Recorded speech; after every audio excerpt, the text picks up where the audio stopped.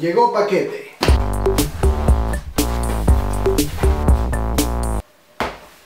Durante el año 2016 han aparecido innovadores productos, como por ejemplo drones, nuevas cámaras con nuevas funcionalidades y una nueva palabra ha sido añadida a nuestro vocabulario, gimbal.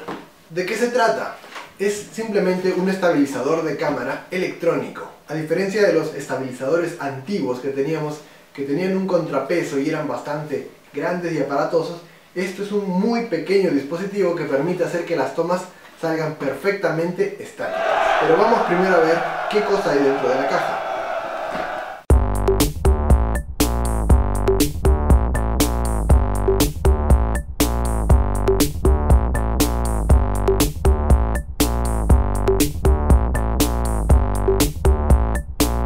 Habiendo desempacado el contenido, vamos a ver de qué se trata. Este es el pequeño estabilizador. Hay varios modelos similares. Yo he elegido este porque es un modelo portátil. En caso de que yo salga a hacer una filmación, todo lo que tengo que hacer es guardar la GoPro en un bolsillo y esto delicadamente en el otro. Los modelos que traen un mango son más o menos de este tamaño y me requerirían tener que guardarlo en la mochila para volver a sacarlo, cosa que es un poco incómoda, o bien llevarlo todo el tiempo en la mano. De este modo esto me resulta mucho más cómodo para poder ensamblar en el momento que quiero filmar. Voy a enseñarles para qué sirve. Lo primero que hay que hacer es insertar las baterías. La construcción es completamente de metal y se desenrosca en la parte de atrás este pequeño tornillo para poder abrir el dispositivo e insertar las dos baterías recargables que ya vienen con el equipo y se inserta la cámara. Para ello trae unos pequeños tornillos que tienen que ajustarse en la parte delantera. Es muy simple y es muy cómodo de instalar.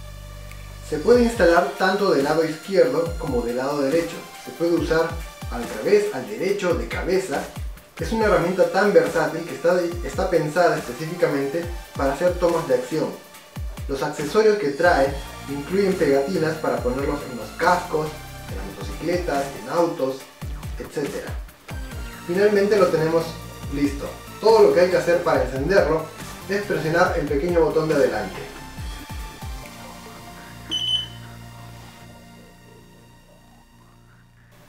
Y como lo ven, está completamente estabilizado. Si yo estuviera, por ejemplo, en una motocicleta, pueden ver en este mismo momento cómo la cámara no sufre ningún movimiento, se queda totalmente estática.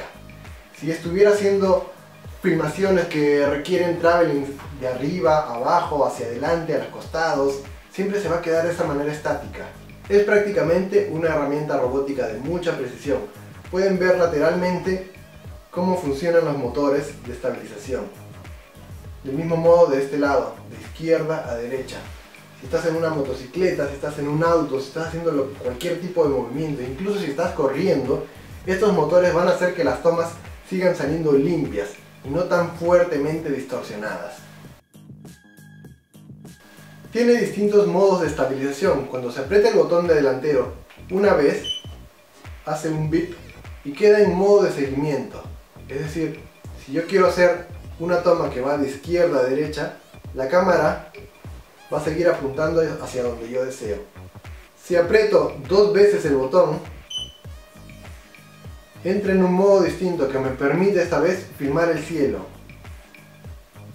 Puedo ir hacia abajo, puedo ir hacia arriba y la cámara va a seguirme suavemente. Si ese modo no estuviera activado, la cámara se quedaría siempre estática. Otra cosa fabulosa de este dispositivo es que puede usarse justamente con selfie sticks, con trípodes o con muchos accesorios similares. Aquí por ejemplo voy a colocarlo con un selfie stick. Como ven me puede servir bastante bien para hacer filmaciones de este modo. Puedo adelantar, retroceder, ir lateralmente y las tomas siempre van a ser limpias. Esto es algo que me encanta de este dispositivo. Como les enseñé anteriormente en un video llamado 5 cosas que puedes hacer con un selfie stick que no son un selfie, hay varios movimientos de cámara y este dispositivo permite que las tomas salgan mucho más limpias. Puedo también colocarlo a un trípode. Como ven, puede estar también en un trípode. Si quiero estabilización para hacer fotografía o incluso llevarlo en la mano y al mismo tiempo tener un trípode disponible, esta es la mejor manera. Para apagarlo simplemente se queda presionando este botón un par de segundos y muere. Me gusta el hecho de que viene con un par de baterías adicionales. Además trae un USB para actualizar el sistema y un cable que hace que la GoPro esté siendo alimentada con batería desde el mismo dispositivo en caso de que lo necesite. Además trae unos pequeños accesorios para poder ensamblar el equipo a distintos conectores de GoPro. Voy a mostrarles un pequeño ejemplo comparando dos videos filmados al mismo tiempo, uno con estabilizador y uno sin estabilizador.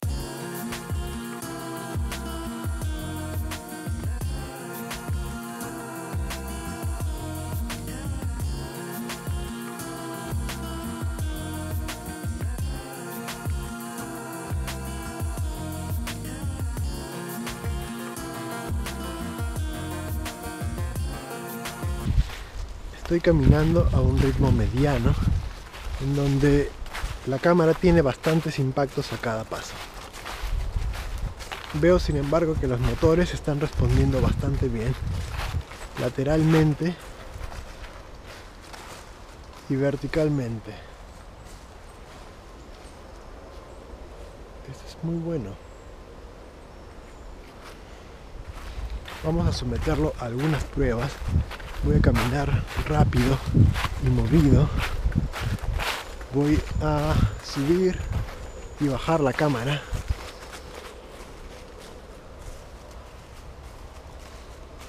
Voy a hacer un pequeño paneo.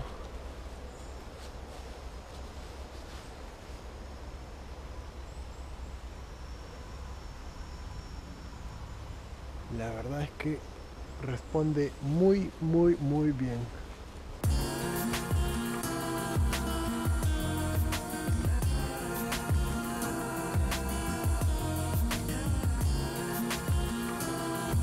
Dentro del lenguaje audiovisual existe la llamada cámara en mano, que es justamente tener la cámara en mano sin estabilización y, dar esa impresión al espectador de que está siendo sumergido en la primera persona.